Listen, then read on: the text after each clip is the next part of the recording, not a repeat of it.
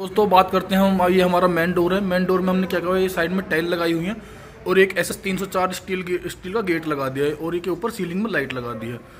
अंदर एंट्री करते हैं।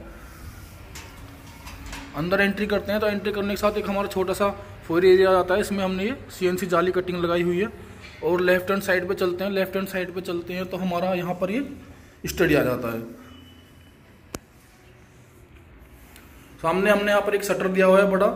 और नीचे एक ये ड्रोर दी हुई है और एक नीचे शटर है। और ये ऊपर अपना हमने लोफ्ट बना दिया स्टोरेज के लिए। और इस दीवार पे हमने पेंट का एक डिज़ाइन क्रिएट किया हुआ है इस तरह से। बात करते हैं हॉल की। हॉल में जब आप एंट्री करते हैं हमने कि वॉल यहाँ पर हाईलाइट की हुई है। और इस तरह से यहाँ पर ये फॉल सीलिंग की हुई है।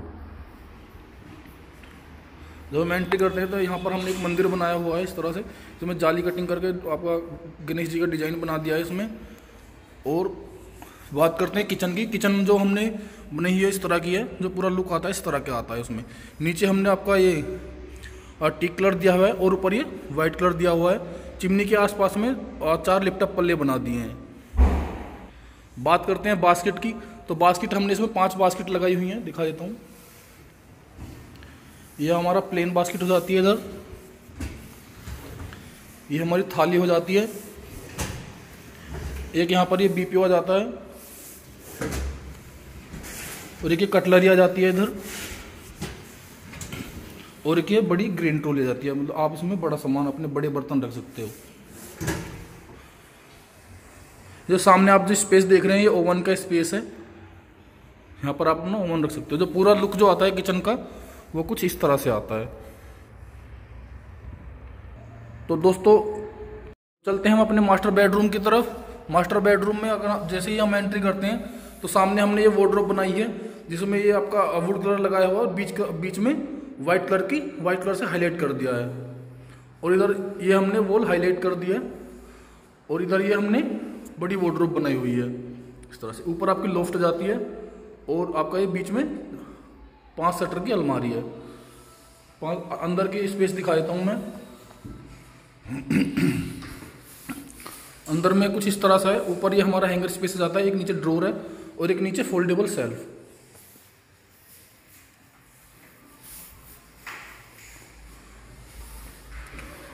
और इधर ये हमने इक्वल साइज़ के इस इस पार्ट को सेम भाग में डिवाइड कर दिया है। आप फोल्डेबल सेल में अगर कुछ बड़ा सामान रखना चाहते हो तो ये सेल फोल्डेबल है आप हटाकर कुछ बड़ा सामान रख सकते हो। और इधर आपका एक छोटा सा हैंगर स्पेस आ जाता है, दो ड्रोर आ जाती हैं और नीचे आपका ये ओपन स्पेस है। कुछ भी सामान इसमें बड़ा सामान रख सकते हो आप। और हम पाँचों पार्ट की बात करते हैं। पाँचों पार्ट में हमने क्या किया है? इसमें अंदर ड्रेसिंग दिया हुआ है। इधर, ये आपका सामने ड्रेसिंग आ जाता है। और यहाँ पर ये स्टोरेज के लिए स्पेस बना दिया है इधर।